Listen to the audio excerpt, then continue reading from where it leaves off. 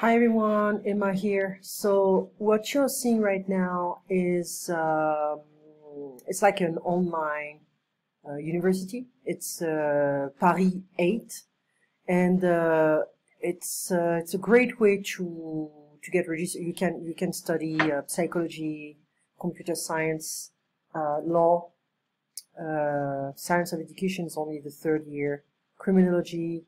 You have also different masters. Okay. So masters in uh, psychology, uh, social psychology, kids psychology, clinical psychology, public law, uh, uh, private law, science of education. So it's uh, it's connected to the university in Paris 8, Paris 8, and uh, so I'm gonna try to register because I would like to study psychology. My background is in law and languages but I would like to study psychology. Unfortunately, I cannot start in L2 or L3 because it's a different field. So I have to start from the beginning.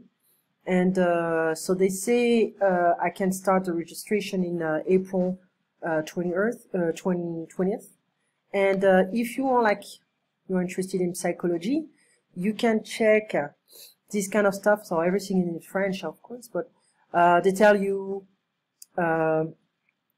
you know, it's three years. It's like national diploma degree. Um, you can take the, so work is 20 hours per week.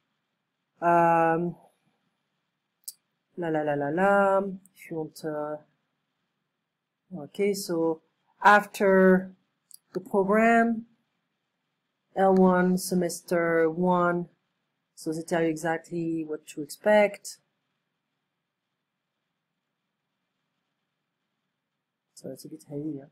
So English, I don't care, it's fine. Informatic and com computer, this is weird. Um, psychology, how to work at university, this is weird. So the major uh, topics will be this one, two, three, four, five, six. So they say the student must choose an EC, another discipline, uh, other than psychology. And, uh, well, it's gonna be English for me. And, yeah, EC2. Uh, no, this one is where the, way, the way you work with thought and everything, this is boring. And after you have the second semester, and again, you have to choose uh, EC, and etc etc so i'm pretty sure you have to make more you have to you need more uh, you need to select more things but you know. So the the best part of it is so that's a register you this is a period of time when you register you are admitted um, administrative uh, uh, registering um, enrollment if you want. And this is the best part is it's to be like, uh, so it's like 549 plus 170 plus 91. Okay, so it's like 10, 21, 6, like 8, 10. Okay, 810 euros for the whole year. And, uh, you know, you're going to have access to a lot of stuff. So this of, you know, you may not have to buy all the books. You can have access to some books. Maybe some people can also share the ebooks, etc., etc. So the way you register, well, it's through this platform. There is a new way to register to different French universities is to go through the website called Parcoursup.